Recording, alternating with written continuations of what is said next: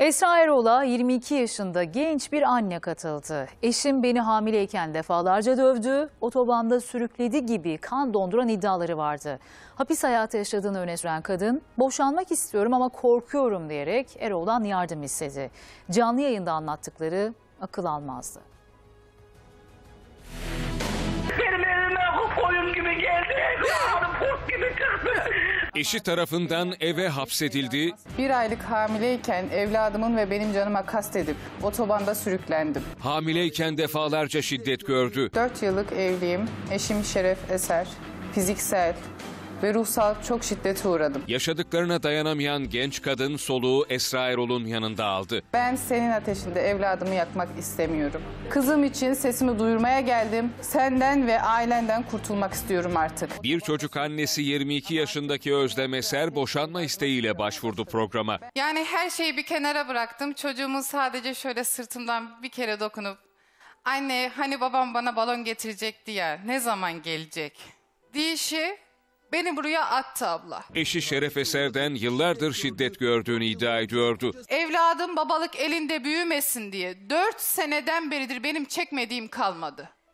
Herkes buna şahit. Herkes. Üç aylık evliyken benim dövüşlerim başladı. Bana ne söylüyor biliyor musun Esra abla? Ederin neyse ederini söyle ederini öderim. O şiddetin boyutu her geçen gün arttı. her sessiz kalış şiddetin boyutunu bir tık daha arttırıyor. Abla yolda gidiyoruz. Surat asıldı. Şeref dedim sana bir şey soracağım. Senin ailene giderken dedim ben asla böyle davranmıyorum. Sen neden böyle yapıyorsun dedim.